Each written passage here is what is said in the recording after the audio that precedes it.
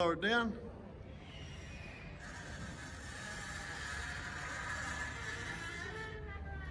And so we're going three row, three or four stainless gas lift, three or four fittings, and then put it back up again. And this up itself. Great. And so we've gone with all aluminium with three or four fittings through here.